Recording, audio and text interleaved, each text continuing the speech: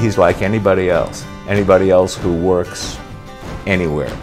See him on the street, you're not going to say, oh, this guy must be a CEO of a major corporation that changed the tide of the Port of Tacoma and the city of Tacoma. You're not going to say that.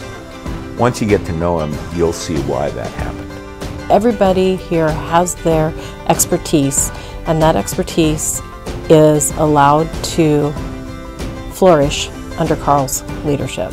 If you don't have teamwork and you don't have people that buy into it, you're not going to get the job done. And I think that nurturing attitude that, that Karl and Jim have here, it just flows all the way down.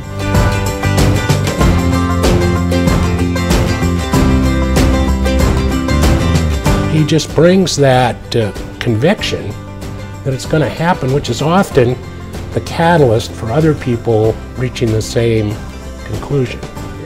He recognized that when he was a member of the East Side Boys Club, others were members of the other side, the North End and the South End and the Central End. He felt that we were too weak by being individuals and we could be stronger clubs if we became one. So he enabled us to forget our own territory and become one. And out of that was the birth of the South Sound Boys and Girls Club. He dreams big. And um, sometimes I'll kid around with him and I'll say that, you know, something was about as good as it can get. And he'll always correct me and say, no, you know, there's always something better, bigger.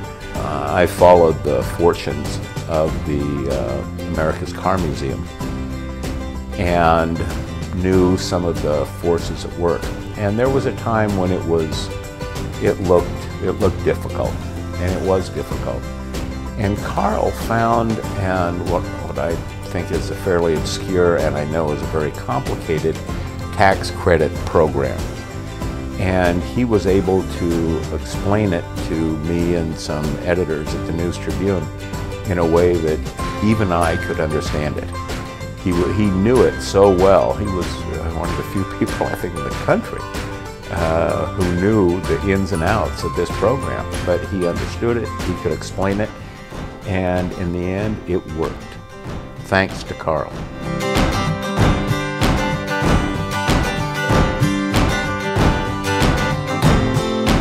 He's not content with the status quo. He's not content with accepting something substandard. He wants it to be the best that it can be. Whether it's Tacoma, uh, this museum, his business.